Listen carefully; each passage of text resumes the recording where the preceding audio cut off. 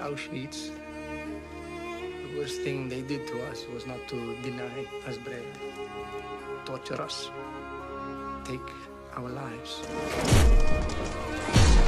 The worst thing they did was to crush our souls, our capacity for compassion. Filling the void with hatred, even towards each other.